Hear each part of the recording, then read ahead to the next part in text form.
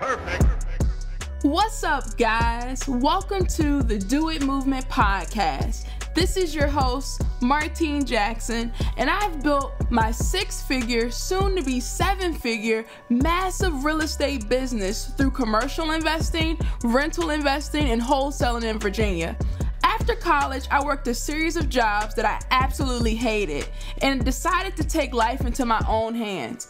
What my journey has shown me is one very important thing knowledge is not power, applied knowledge is power.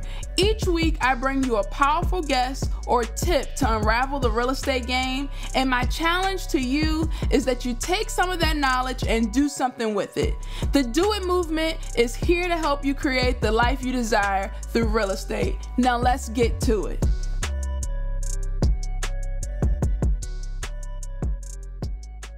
Hello, today, Do It Movement listeners. This is your host, Martine Jackson. Today, we have a very special guest. We have the one, the only, Mary Hart. Hey, Mary. Hey, Martine, how are you? I'm good. I'm glad that you're on. You're a wealth of knowledge. We're going to learn well, so much today. awesome. Thanks for having me. How many days do you have for this podcast? I got lots to tell. we can do part one and part two if we don't make it through everything. But um, for the okay. folks, for the folks that don't know who you are, uh, just tell people like um, what are what's your background and how'd you get into real estate, and you're an, also an attorney, so you can share that as well. Sure, yeah. So I um, have been an attorney for about, gosh, I don't know, 28, 29 years, although I'm technically retired from attorneying and just consulting now uh, very rarely. I'm actually now a farmer in Kentucky, which I'm loving. My husband and I are, are living on our farm and enjoying that. Um, but my background is so many, many years as an attorney, and I started out as an estate planning attorney and then added on real estate and business and all these things that have a lot of synergy with each other. And I had my own law firm in Asheville for a long time, and I shut that down a couple of years ago and was being solo practice attorney, but now I've kind of stopped that as well. Um, I'm also a 10, 1031 qualified intermediary, and I am a licensed realtor, although I don't uh, do real estate anymore mm-hmm. um, for anybody else. I just do it for myself. And what else? That's about it. Mom of three boys, uh, stepmother of three more children, and mother of a few goats and horses and dogs and all that. So you do everything. We got it. I do a lot. Yes, I do a lot for sure. That's awesome. That's awesome. Well, I'm really glad to have you on the podcast because I'm pretty sure you're going to point out a lot of things that a lot of us investors can do better because you know the law way better than we do. So let let's dive into that. What are some things like some common mistakes that you see a lot of people make? Sure. Um, I guess the first thing I want to say is that you know I, I, I, changed the name of this topic from legal mistakes to best practices. So I was trying okay. to make it a little less negative, but it still comes across like all the mistakes people make. And this is just sort of a list I've compiled over the last 28 years of things that I could think of that people had done wrong. But I think one of the issues is people don't use the law proactively. If, if I had an umbrella mm. mistake, it would be that people don't use the law proactively. They, they react, which always causes more headache, time, expense, bad results. Uh, so I always say that the law has two parts you've got the sword and you've got the shield. And if you mm-hmm. use the shield of the law proactively to protect yourself and minimize or avoid mistakes or minimize the consequences, you're always going to be a thousand percent better off than if you wait and use the sword of the law to react when something bad happens. So, mistake number mm-hmm. one is not being proactive. And I think a lot of times people don't do that. Um, or don't do it well for a couple of reasons. One, as John Hyre would say, real estate investors are cheap, cheap, cheap. You know, like that's true. Nobody wants to pay a lawyer, right, to set right. things. um, the other thing is is people sometimes talk to the wrong people. They'll be at a cocktail party or networking event, and someone will give a tell a story or talk about how to do something, but they don't realize that one little change in facts can really change what you need to do or don't do or how things are set up. So I think that, uh, you know, seek professional advice. And, and I'm not trying to sell my services because I'm not practicing law anymore, but I think it's the best dollars you can spend is to make sure things are set up correctly the first in the first place. So that's sort of my big overall uh, rule. And I guess the second rule would be have have a plan at all. You know, a lot of people, and I guess that's part of the same thing. They they wait for things to happen and they think, well, let's take life and death planning or estate planning, for instance. They mm-hmm. assume the law will take care of everything and it just it doesn't so that's sort of the overall rubric and i don't know if you want to ask me questions or if you want me to just start throwing out a bunch of things but you, you let me know how you want to do well, this yeah well i can ask you a couple of questions and just i guess give people my point of view because i know like I don't know if I'm like most investors, but I know me, I'm just a jump in type of person. I didn't even think about looking at the law before doing certain things. So um, I guess we could talk about you. You're saying that a lot of people need to be proactive, but what are some things that you think that um, they should look more into? I know like having your um, you know your documents together, but sure. what are some things that you think people Let's, can do better? Yeah, there are a number of different topics. And let's just, I'll, I'll start the first one on my list because it really applies to everyone, not just real estate investors. So this applies mm-hmm. to everyone over the age of 18. And it has to do with what is legally called estate planning, estate planning. I call it mm-hmm. life and death planning. And the mm-hmm. first mistake would be people just don't have a plan. You know, they assume if they're married and they die that everything will go to their spouse. They assume that if they become disabled, their spouse will automatically have the right to make decisions for them or that things will automatically pass to their children. And it just doesn't always work that way. So I'd say, you know, in estate planning, have a plan, put the right documents in place. Uh, people don't want to think about dying or becoming disabled, right? It's never going right. to happen. I'm young; it'll happen many years from now, so you know right. I don't have to worry about it, right? Um, but I would say tomorrow may not come. I mean, you don't know where, whether you're going to get hit by a bus when you walk out of the house or whether you're going to get brain cancer. And you know, these are horrible, morbid things, but we just don't know. People don't right. always live to a ripe old age, or they don't, you know, they aren't perfectly healthy until the day they just drop dead. So we need to plan for what happens if you become disabled or you die. So have a plan, and we can, if you want to, go back later and talk about exactly what that looks like. But you know, make sure you know what you're doing because I've seen people who've uh, even put a will together, but they've inadvertently disqualified their children from government benefits or disability benefits, or they've you know conflicted out a second spouse with their children, or something like that. So there are a lot of different things you can do to make make your estate plan better. Um, another topic is planning with a self-directed IRA. People do this wrong all the time, and the tax consequences are potentially huge, huge mm-hmm. with this. Mm-hmm. So if you're going to self direct your IRA and use that for investing, you can make tons of money and it can be a great investment vehicle. But do it right. Know your disqualified parties, know what the prohibited transaction rules are, know how to title your investment. I see this wrong all the time.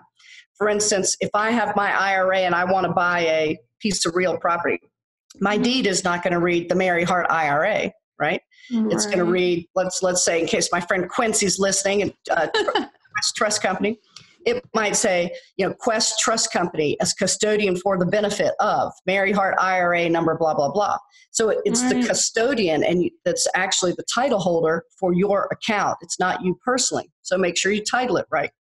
Make right. sure you have beneficiaries, named beneficiaries and make sure you have an alternate. So many people name their first beneficiary because they always assume that they'll die first and their beneficiary will be around, but that beneficiary may die before them.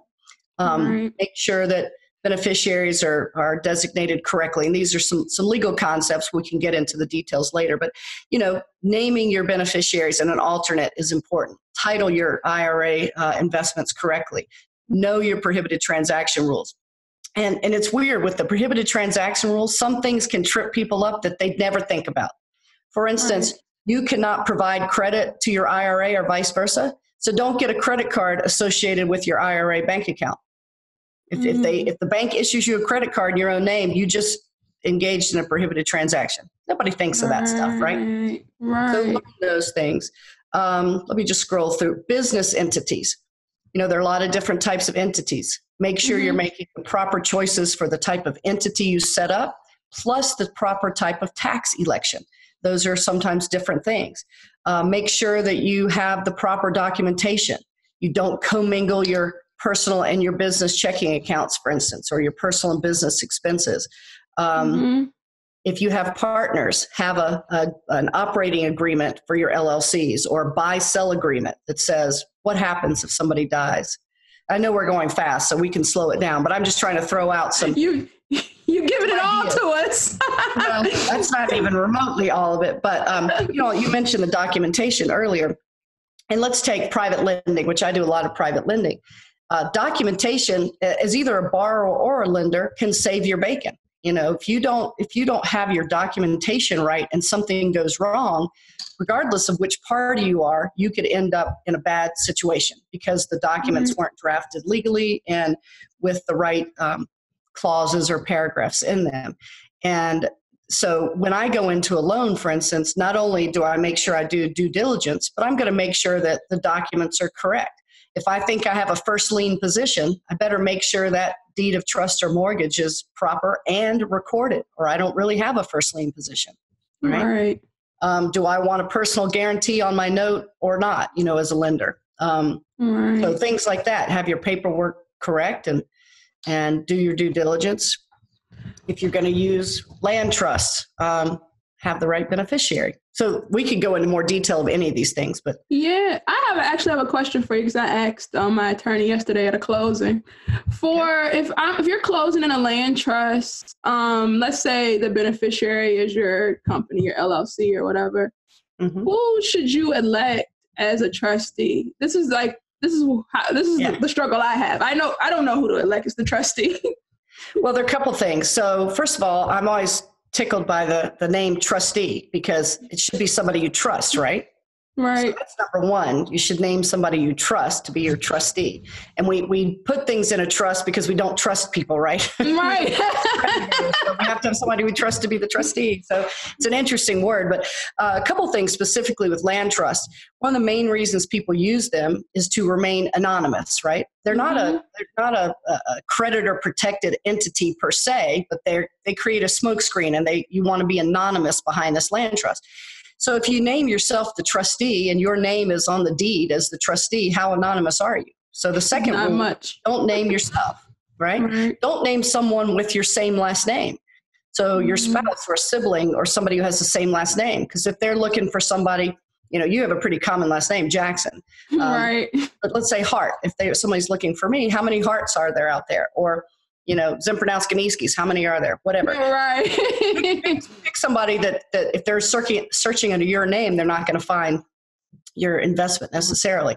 Um, you know, I usually do it as a, say, a financial friend. We talk about mm-hmm. that, our financial friends network. So I will try to find a fellow real estate investor that I trust that um, I believe will do the right thing, that will understand the land trust and their duties as a trustee, so mm-hmm. if, if the trust does get pulled into a lawsuit and the trust document says the trustee is prohibited from giving anyone a copy of that trust, that my trustee knows that and understands the reasons for that and doesn't willy nilly hand a copy of the trust to the other attorney when they say, hey, give me a copy of the trust, right?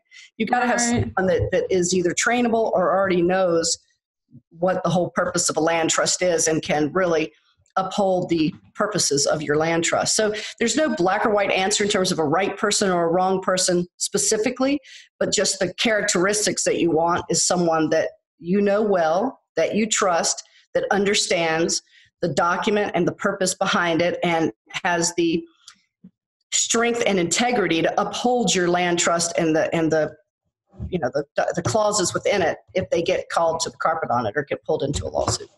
Right, right, right. I have sense? a that makes perfect sense. That makes perfect sense. I have I know my questions are probably going to be kind of scattered because I'm kind of That's scattered, all right. right? I like scattered. but you mentioned about the estate planning before and um it, you're right. A lot of people don't like to talk about it. Nobody wants to talk about dying. How do you get some like people you care about and you know you love and you want them to do some estate planning, but they're just totally against it. How do you yeah. get them? Good question because I see it all the time. First of all, be a good role model. Have your own estate plan in place. Right. And everybody over 18 should have estate planning documents because once you're 18, nobody else can make a decision for you. So if you become disabled, someone may have to go to court to get the authority to even sign a check for you. So have, mm-hmm. say, powers of attorney in place or whatever. Uh, we won't go into the details right now, but be a good role model, do it yourself. All my mm-hmm. sons got estate plans for their 18th birthday, by the way. So they, got, they might they not have liked it. They got some cash and some other stuff, but they got an estate plan. Luckily, their mom. Right. Um, so number one, be a good role model. Number two, you know, a lot of people don't want to do an estate plan because it feels like they're facing their mortality. Mm-hmm. So I'll tell people a couple of things to try to bring them to the table. Number one, Murphy's Law says if you do it, nothing will ever happen to you, right? It's mm-hmm. like the shield of protection. Because, mm-hmm. right? But really, the, the idea is that if you do an estate plan, then guess who's in control? You are. If you don't do your estate plan where you make choices about what happens and who manages your things and who inherits, if, if you don't do it, then other people are in control, like the state legislature or the judge or family members that you might not even like. You know, mm-hmm. so so the biggest thing for me is you tell people, do it and it gives you control. And probably the biggest thing I like to say, and this is copyrighted, by the way, it is your ultimate love letter to your family, your friends, your charities, whomever you are benefiting by your estate plan, doing your estate plan is the ultimate love letter to your loved ones. Because when somebody dies and you know somebody you love dies or becomes disabled, don't you want to just be able to focus on the grief and the, the ability to, to take care of them physically or be with them or whatever if they're still alive and not have to mm-hmm. focus on the, the details of trying to get things done when there's no roadmap and there's no authority? Right. right. So put the plan in place so your loved ones have a roadmap and have the authority to travel down the right path so that they can just go about the business of loving you and grieving and or taking care of you and nurturing you. Mm-hmm. So that's how I try to convince people. How I guess how often would you suggest people to update their estate plans? Like let's say you start when you you're 18 and you know your life's changing, especially like your 20s yeah. is changing a lot. yeah. So um what how often you do you suggest people can t- like go back and update stuff? Sure. Well that's a that's a very good question. Um First of all, when we draft estate planning documents, we, we are not really usually putting certain assets in there. We're not saying, well, my you know, Volkswagen Beetle goes to Jane and my house at 123 Main Street goes to Bob, although we, we right. can do that. But a lot of times it's more general. Whatever I happen to own at the time of death goes here or whatever. Okay. Um, so we try to set up the documents as flexibly as possible so we don't have to change the documents every time we have a change in circumstance, number one. Number two, you should always review it anytime a big change happens in your life you get married, you have kids, one of your beneficiaries dies, you go from a pauper to a multimillionaire because you win the lottery. You know, so anytime a big thing happens, you should review it. Beyond that, you know, usually every couple years, just I tell people, make a date with yourself one day a year, whether it's your birthday, New Year's Eve, Christmas. Excuse me, I got to fly in my room here. um, you know, whatever it is that whatever you want, what date you want to pick, and every mm-hmm. year, just sort of pull out your estate planning documents and take a look and say, is this still what I want it to be? Ooh, there are two flies. Still what I want it to be, not what I want it to be, um, and just review it. We had a wedding here this weekend, and I can tell the door was left open a lot because right. one of them, and there are flies in here now. Anyway, right. so I apologize if you see me swatting. Um, but so you know, otherwise, if you don't have big circumstances, look at it every year, every couple years. Just skim through your documents and go, would I change that? Because a lot of times, what I realize is like say an IRA beneficiary. Mm-hmm. A lot of times people name their beneficiary when they open their account and they never look at it again for 40 years. Mm-hmm. And maybe they've gotten divorced and their spouse is still a beneficiary, or they've named their best friend as their executor in their will and they hate that person now, or whatever it is. You know, just take a look periodically. Right, right, right. That makes sense. That makes sense. So, oh, how would you suggest someone find someone to do uh, like any documents that you need for your business or estate planning? Like, should we just Google or? Well, that's always a good good question. Um, you know, ask people that you know and trust who they've used if they've used somebody for for an estate plan that's not real estate investor specific. You know, it's any good estate planning lawyers, and there is a uh, service called Martindale Hubbell. First word is Martindale, M A R T I N D A L E mm-hmm. dash Hubbell, H U B B E L L, I believe. And they have a lawyer rating system that's done by the lawyer's peers. So people get nominated and they get rated by their peers. And so that's a good place to start. I think they may have a website called lawyers.com now or something, and they, they have a rating system. So you want to look at someone who spends a lot of time in the area of practice in which you need work done, that they have a good rating or they have good peer reviews, they don't have bad reviews on Google or anything else, and then ask people that you trust. And frankly, you know, go in and ask if you can have a 15 minute sort of interview. Make sure they don't have three heads and that they can actually answer your questions without you know preparing for 14 hours before they answer your question. Right like you're talking about having scattered questions. I don't mind scattered questions. I love them when i'm teaching because then you ask me something i'm not prepared ahead of time people can tell whether i know my stuff right if if every question somebody's going to ask me i have to know ahead of time then obviously i've got to go research it. i might not really know my stuff very well Right. that makes sense. That makes perfect sense. That makes perfect sense. I know that this topic that you're talking about is something that I definitely need to get better at. I'm just becoming organized myself to yeah. put stuff well, into hard. place. It's hard for people to do. It's easy to procrastinate. I mean, I'm not perfect. I still have little things that I need to do that have changed. And oh, I've got to go change that the member on that operating agreement because now I have such and such. You know, I don't get around to it as quickly as I should either. So right. So I guess the main point to take away it seems like is to be proactive. And I know I've been rather reactive, so yeah, gotta get are. better at that. But um, so let's say you have all your documents in place for your business. Um, you know, you got your estate planning done uh, you actually read the rules for IRA instead of just doing it. um, what are some other things, or are there any other things that we should be, you know, looking into that maybe we're not even thinking about looking into? Well, let me think about that, but I want to go back for a minute because you said yeah, something that reminded me. You know, we just talked about the estate planning lawyer, but let's say you want a land, you want to do a land trust, or you mm-hmm. want somebody who deals with self-directed IRAs. Right. I won't say most lawyers, but I'll say most lawyers don't know what they're talking about with that. I didn't either until I specifically started learning it. So if someone says, I want a self directed IRA owned LLC, any business lawyer who does an LLC may think, oh, I, I do LLCs all the time. We'll just make the IRA the member. Right. No big, but they don't realize that there's a specific type of operating agreement that needs to be in place for a self directed IRA owned LLC. Certain clauses need to be left out, certain clauses need to be put in. And so, unless somebody specifically knows self directed IRA law, they're not going to know that. Same thing about land trusts. You know, I did a, I did a loan once with a, a borrower who was borrowing in a land trust uh, because they were going to buy the, the property in a land trust. And I said, Well, let me look at your trust. So don't worry about it. I had my real estate lawyer review it and, and he made a bunch of changes. I said, No, I'm not loaning to a trust that I don't know is a good right. trust. So they sent me the trust, and it was completely wrong. The lawyer, who was a great real estate lawyer, knew nothing about land trust. He wasn't a real estate investor type lawyer. Right. And he totally screwed up that trust. He made it irrevocable, meaning the guy could never change it. He made the beneficiary wrong. Everything was wrong. Well, if I hadn't looked at it, this poor real estate investor would have no idea the, the trouble he was getting himself into. So when you're doing a land trust or personal property trust or anything that's sort of real estate specific, find a lawyer who can do real estate investor work because it's not the same as regular real estate in, in many cases.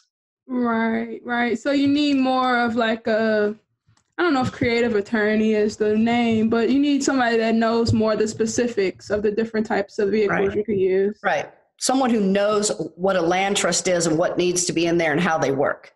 You know, a regular old trust attorney, and I was one of them for many, many years. I said, well, land trusts aren't valid in our mm-hmm. state. Well, that's crazy. A trust is just a contract. It's valid in every state, but you may have to put certain clauses in it to make it meet state law for your state. So you've got to find someone who understands not just trust law, but land trust law. And I'll be honest, that is hard to find. That's hard to mm-hmm. find. But so, they're, they're out there. They're out there. So you bring up a point um, that I so I went to this retreat this weekend. Actually, it was actually another mastermind, but um, we were talking about putting things in trust, and I know I've learned about putting things in land trust, but I haven't really learned about putting them in just a regular trust. What are the differences if I were to say I want to put it in a trust rather than a land trust? Is there any big difference in that? Well, it's interesting because when you say trust, there are so many different types of trust for so many purposes. Right. There are the, the broad categories, or there are irrevocable trusts and there are revocable trusts. Can you change right. it? Not change it. There are trusts where you're the beneficiary and trusts where you're not. There are trusts where you're a trustee and trusts where you're not. So you have to figure out what, what it is you're trying to accomplish with that trust and find the lawyer who can put you in the right type of trust. They're all normal trusts. Mm-hmm. A land trust is a normal trust. A living trust for estate planning purposes is a normal trust. A charitable remainder trust for charity purposes is a normal trust for the purpose for which it's intended. So you have to know what your purpose is and find a lawyer who can put you in the right trust.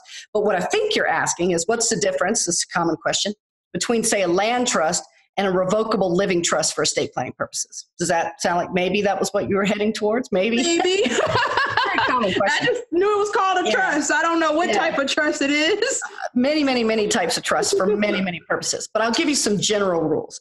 Um, if you want a trust to be completely creditor protected, the mm-hmm. first thing it has to be is irrevocable. And you can't change it, you can't revoke it, you can't do anything. Mm-hmm. In most states, you also cannot be a beneficiary of that trust. There are some states where there's a, a, a slight possibility, not slight, there is a, a, way to be a beneficiary, but you have to follow certain rules. But so creditor protected trusts, by definition, are generally irrevocable and you are not the beneficiary, with, with some exceptions.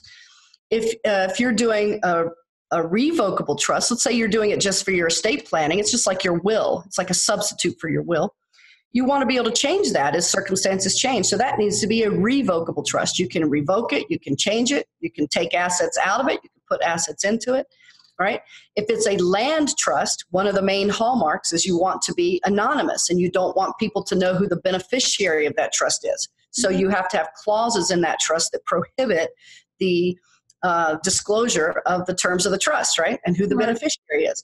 So a land trust has very specific types of clauses and there's some more complex pieces to it that I'm not going to go into right now because we could teach a whole course on that alone.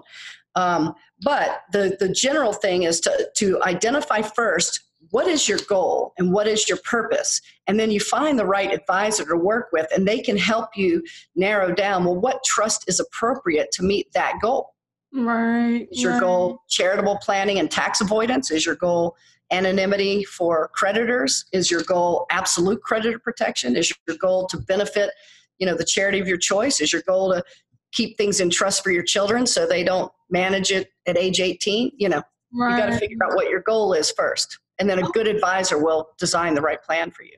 And I hate to say that, but this is not a do it yourself area of the law. And I would say that even with land trust, no matter how many conferences you can go to and how great they are, and you can get some really good information, but someone should at least look over that trust who knows what they're doing and give mm-hmm. you some mm-hmm. advice. Okay, okay. So if we want to get an advisor and we don't want to show up completely clueless, um, are there any books you recommend or like anything that we can watch that's online to help us become more familiar with some sure. Well, you know Walter Wofford, he has lots of videos on trusts and self-directed IRAs and all that. So he has a lot.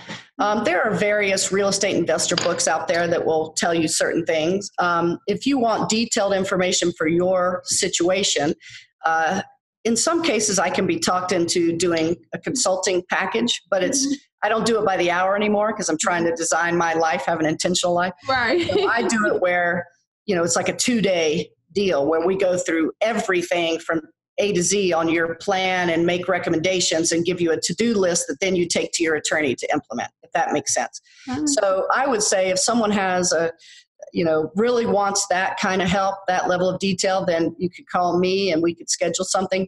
But that's, you know, minimum $5,000 fee. You mm-hmm. get two days worth of lawyer time, which is worth a lot more than that if I charge mm-hmm. by the hour. My hourly rate was $400 an hour.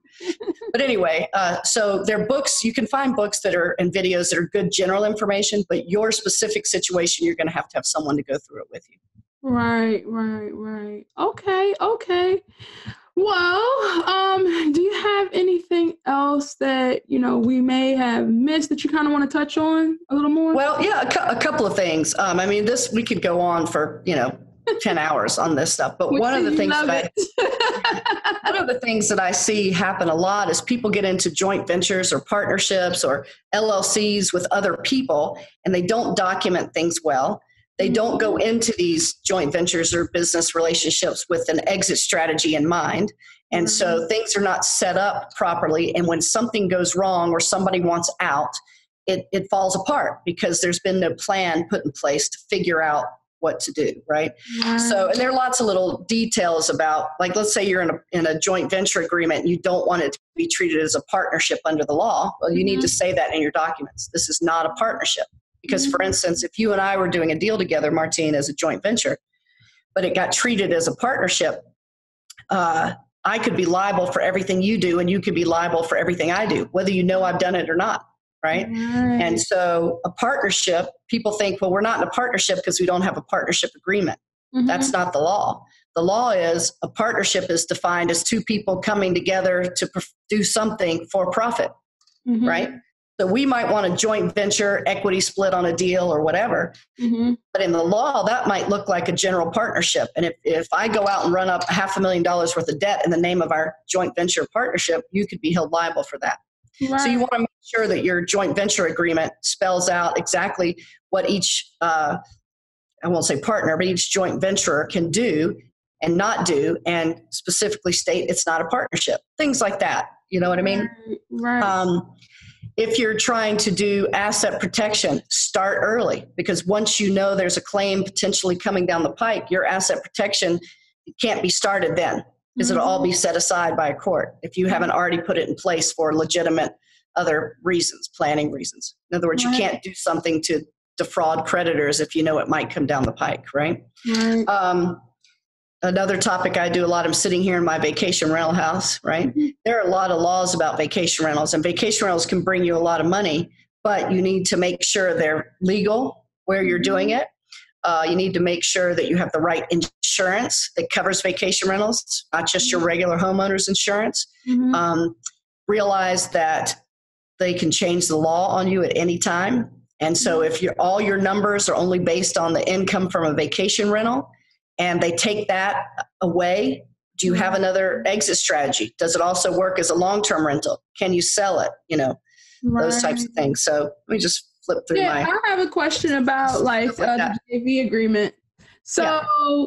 I know like me, I'm just gonna talk for myself. I'm not gonna talk for anyone else. So for myself personally, I always like to think of best case scenario, and I know that you need to plan for if things don't work out, if um, you know, if you know, you need to take another exit strategy and things like that.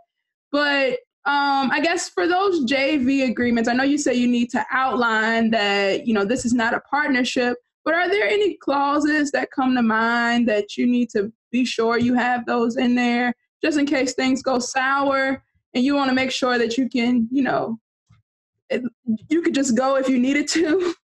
Well, I think that's the, that's the key, and it all has to be negotiated ahead of time and put in the paperwork. Is you know, what if someone wants out, or what if the uh, two people have a disagreement?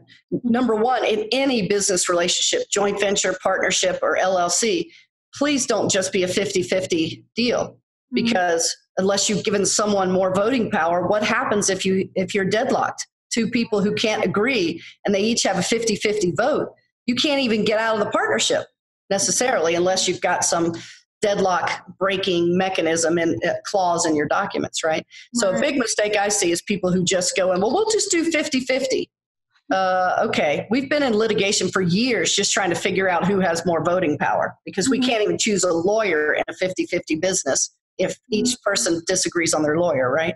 right. So, um, so don't be 50 50. Anything you can think of, have a clause in that agreement. And a big one is what if somebody wants to leave or someone goes bankrupt or someone embezzles or, you know, pick right. your trigger events. The, the big ones are somebody dies, somebody comes disab- becomes disabled and can no longer do the, the job for which they were brought into the joint venture.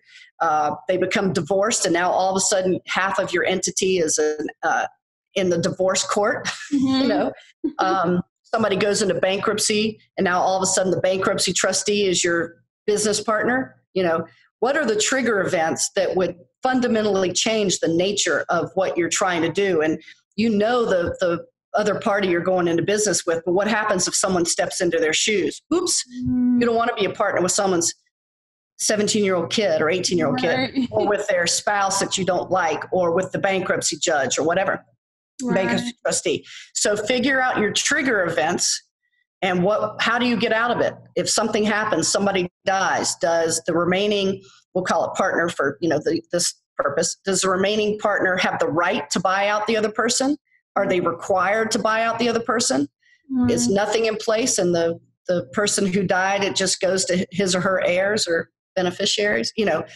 figure out what you want. So i think the exit strategy how you end how you wind up a partnership when is this partnership or joint venture over? You know mm-hmm. when is it uh, when can one person get out? What happens if one of those trigger events happen? Those are probably some of the most important ones. And oops, sorry it's my phone. And what happens if um, if if it all goes south what happens? You know who, who has the voting power? Who can shut it down? And if you are 50-50 um, what's your deadlock breaking mechanism right third right. party do you each pick a third party who picks a third party you know that's a good point that you make because you bring up stuff that I probably wouldn't even have thought about. that's that's what a good lawyer will do is say, well, have you thought about this and what about this? Because you know, frankly, when I've been doing this for 28, 29 years, I've seen a lot of horror stories. I call them war stories. Mm-hmm. And every time there's a new war story, it makes me remember or think to talk to the person about what happens if this happens. Right. Right. Right. That's why the plan a good plan is the ultimate love letter because there are a million things that you can't think of that you're leaving behind for your loved ones or or even for yourself you know mm-hmm. that all of a sudden you're wrapped up in a litigation that takes all your time and energy and focus away from building your business because you didn't think to put your documents together properly or you went on oh i know this person i'm just going to do a handshake deal don't ever do that i wouldn't do that with my best friend i wouldn't do that with my you know children i would have it in writing Mm-hmm. And I'll say one more point about that whether it's going into a business relationship, a, a, a lender borrower situation, a marriage for that sake. If if you figure everything out and you negotiate all the terms of everything when you're both on equal footing, it's going to be a lot more fair to each party when things break up, right? right. Because you don't know going into something who's going to be the person who wants to leave or who's going to be the person that was a bad actor. Mm, right? right? And so you don't know if you're going to be the lever or the levee in a business relationship when you're negotiating from equal footing. You know, all things being equal between the two parties, you're just going to have a more fair agreement for both parties in the end. Right. So, what's the, I guess, the worst story that you remember from bad planning? We have to put things in people's heads so they can say, oh, I got to go do it. Oh my gosh, there's so many war stories. Um, a lot of them have to do with not understanding how things pass at death and having assets go to unintended beneficiaries, right. you know, or having things un- unintended happen. I'll give you a couple of easy examples. Um, you know, one was, and I've told these in some of my conferences, you may have heard it, but one was um, a husband and wife married in their 30s, but it was the wife's second marriage. She had kids from a prior marriage. Maybe they're in their late 30s or early 40s by now. Mm-hmm. When they got married, she already owned a house. He moved into her house, but they never changed the deed to add his name to the deed. And she never did an estate plan, never did a will. So she died suddenly and unexpectedly in an accident. Mm-hmm. She had three small children. She had a husband who now had no interest in the house. He couldn't afford to keep the house. So he wanted to sell the house. He came in to me. I was, I was a young attorney at the time, and I said, you, you don't have any authority to do anything with this house. Mm-hmm. The law said he owned, now I think at the time, this was many years ago, half of it because he was an intestate heir, someone who inherits when you don't have a will. Mm-hmm. So he had inherited half of it, but the other half were owned by her three minor children, whose guardian was the ex husband that couldn't stand the current husband, and vice versa. so, in order for anything to happen, this ex husband and the current husband had to agree on everything. How horrible would that be? Wow. Right? That's a bad story. Another story was a, a real estate investor named Marsha Cole. She tells this story all the time. She's very vocal about it. She and her husband were very sophisticated, very successful real estate investors, very busy, developments, you know, all this stuff he died. Uh, he had an aneurysm or heart attack or something driving down the highway. Luckily, didn't take anybody else out, but he died suddenly in his 50s. Mm-hmm. She's in the middle of all these projects, and he had never done a will. So, by law, she owned a part of his estate, and his unsophisticated parents owned the other part, who they didn't have any real estate investment experience. Well, when all the banks that they had lines of credit and loans realized what had happened, they started pulling, you know, calling in all the lines of credit and the loans. And so here was Marcia. She couldn't even sell a painting on the wall without the consent of the deceased husband's parents who knew nothing about anything. Wow. So she almost lost every piece of property. Almost everything got foreclosed. It didn't because she had a white knight in shining armor, another real estate investor who came in and bought all these properties from her, but they bought them at cents on the dollar just to keep her from going into foreclosure, right? Right. Lost almost everything. It took eight years, I think, to settle his estate, three different attorneys, blah, blah, blah, all because he didn't even write on a kitchen cocktail napkin you know, I leave everything to my wife. This yeah. is my last will and testament. And that's, you know, it was so simple of a problem, but he didn't know it was a problem. So if you don't have anything in writing and you're married and like your parents are still living and you have kids and stuff, everyone has to share. It doesn't go directly to so, your spouse. Well, so here's what happens. First of all, it depends. It it depends on the state law and the state in which you live at death, right? Mm-hmm every state will have what's called the laws of intestacy. If you die without a will, who gets it and in what percentages, right? And it varies from state to state. Um, it does not automatically go to your spouse or your kids or your parents. It depends on the state law. But let me back up even further because this is where most people have an issue. What you first have to identify is how the asset, any particular asset, how is it titled will dictate how it passes at death.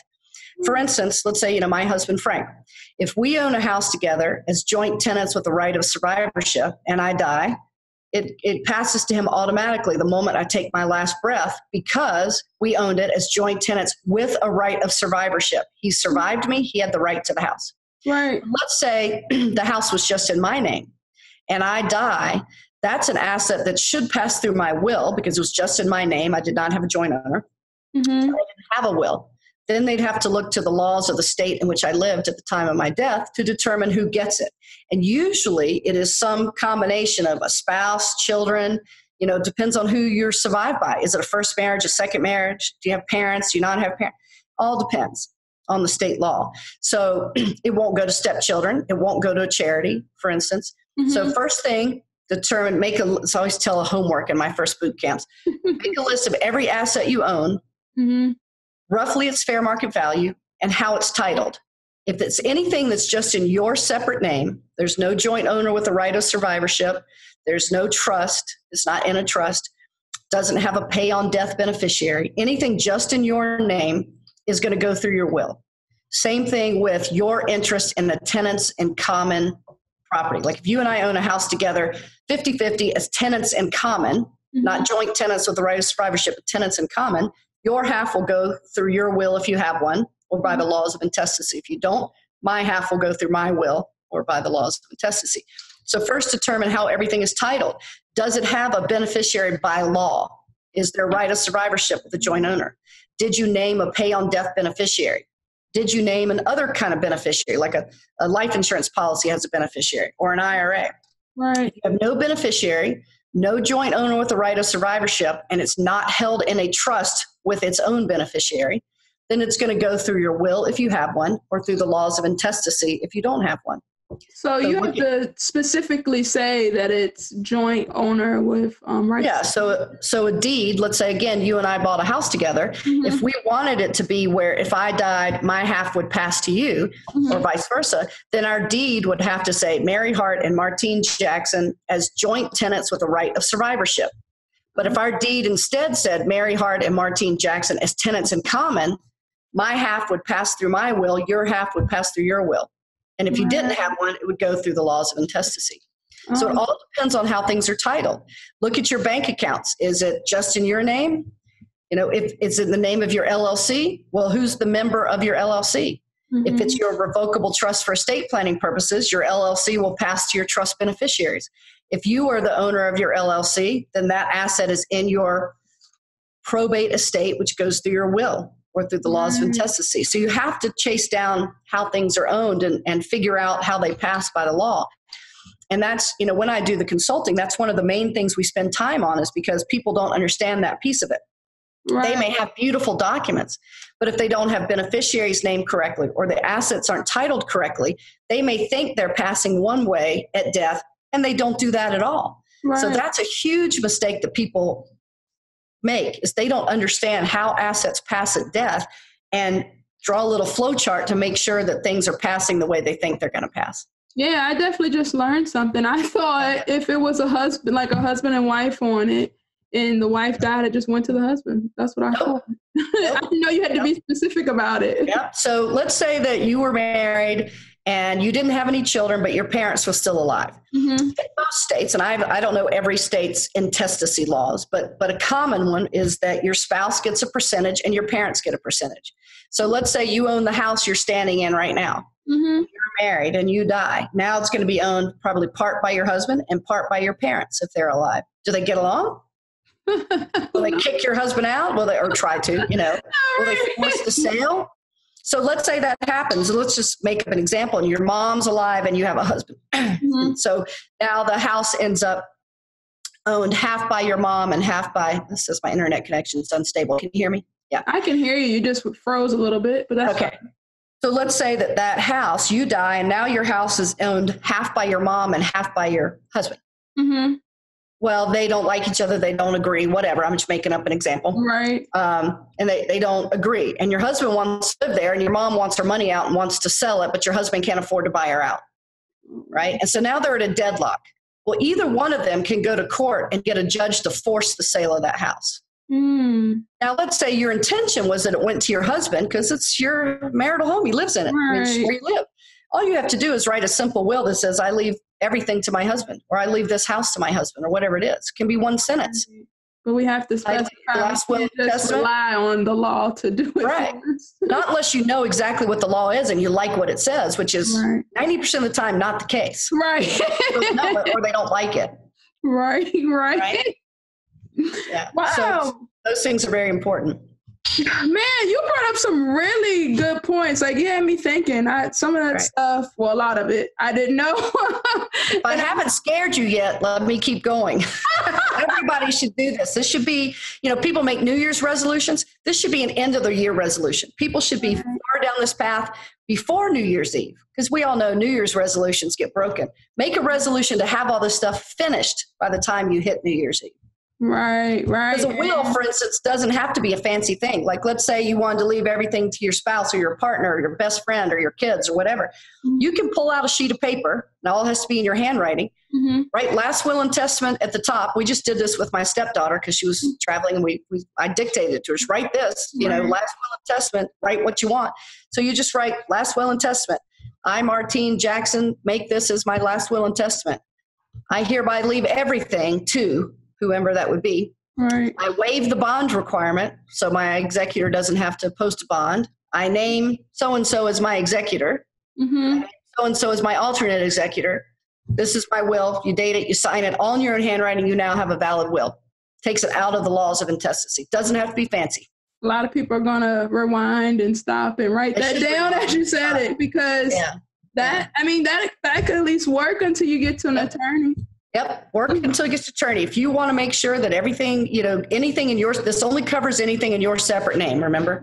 But that could be LLC interests in your name if you're the owner of your LLC, your car, your house, your bank accounts, whatever it is. This will govern those assets titled in your own name. And just mm-hmm. take out a piece of paper in your own handwriting. It has to be in your own handwriting. Title it your last will and testament. Say who you want to leave everything to, who's an alternate beneficiary if that first person doesn't survive you Right. Who's your executor? Who's the alternate executor? Date it and sign it. You have a valid last will and testament. Boom, the bomb. It's one page. It's a paragraph sometimes. It's not much. And and that will that's at least a stopgap measure. And you can do the same thing like if you need to name someone to act for you if you become disabled, you know, it's there are a lot of clauses you might want in here eventually, but if nothing else, say like a healthcare power of attorney, title it at the top of a sheet of paper, healthcare power of attorney. I, Martine Jackson, appoint so and so as my healthcare agent to make mm-hmm. all my healthcare decisions if I am unable to do so myself. Date it, sign it. Right. You may need uh, witnesses for that, but it's it's and a notary, but it's better than nothing. At least somebody knows your intention. The last will and testament, you generally don't need witnesses or a notary if you do it in your own handwriting. Hmm. And then let's say someone left an asset or something that since it's in a will now, it would go through probate. Does it do that? Or- uh, yeah, generally speaking, unless it's a very small estate and, and you're, you know, there's some exceptions, but generally it will go through either a small uh, probate action or full blown probate if it's okay. something you die with in your separate name. Okay, cool. Well, you gave some really good information. I really appreciate you being on the podcast. I know you gave us a lot of a lot of things to do for people that don't have their paperwork in place. But is there any last like advice you want to give people? Maybe a starting point. I know you did mention um, write your will down in your handwriting if you don't have one. But um, is there anything else that you would recommend that? Just start. Do something. You know, write your ultimate love letter. Do something. Mm-hmm. Um, doesn't have to be fancy. It doesn't have to be perfect. I do think you should seek professional help eventually uh, mm-hmm. uh, because this is not to get it right is not a do-it-yourself type project. You can do the stopgap measure, but it really needs someone who can look at all your situation, all your goals, and your assets and everything, and make sure that everything's talking to each other right, that your trusts are meshing with your LLCs right, and all that. Um, but just start do something don't stick your head in the sand it's like it's like when people get the letters from the irs and they don't want to deal with it they don't even open the envelope right. people feel that way about an estate plan right they don't want to deal with it well, right. deal with it because it's truly the ultimate love letter to yourself and your loved ones. So just start. Okay, well, thanks for being on, Mary. I really appreciate it. You're welcome. I don't know if your invitation for consulting is for everyone that's listening or not. Yeah, that's fine. You know, I don't I don't do it all the time, but I just say people to reach out to me. You can either email me at maryhart at maryhartlaw.com, maryhart at maryhartlaw.com, or um, you know, yeah, that's probably the, that's probably the easiest way. And just I get a lot of mail, email, so just write in there, you know, consulting request or something, and we can talk and see if it's even the right fit. You know, it's, right. I don't do hourly consulting because I don't want to keep track of billing, and I'm I'm I'm not doing that. Okay. But if people really need my particular skill set, they can come to the farm for two days. We wine and dine them and have fun on the farm with Frank, my husband. But in the meantime, farm is nice. farm is awesome. We spend as much time as necessary, sort of digging down into uh, their situation and making a plan that they can then take to their attorney to execute. Okay. Well, thanks for being on. I'm about to wrap up the episode. Yeah, I really appreciate all the valuable content that you gave us today. I know I'm going to be listening and re listening to this to catch all the things that I missed and making sure I check out the things that you um, told me to write down. So I really do awesome. appreciate your time today. You're quite welcome. Have a great day and goodbye to all the listeners. Enjoy all your right, day. Until next time, Do It Movement listeners. See ya. See ya. Thanks, guys, for checking out the Do It Movement podcast this week. I hope we inspired you to make some power moves now. If you haven't already, make sure you follow us for more info on our guests and new episodes at Do It Movement Pod on Instagram and at doitmovementpod.com. Make sure as you apply some of this knowledge, you tag us along the way by adding hashtag do it movement so that we can recognize the change makers. See you next week.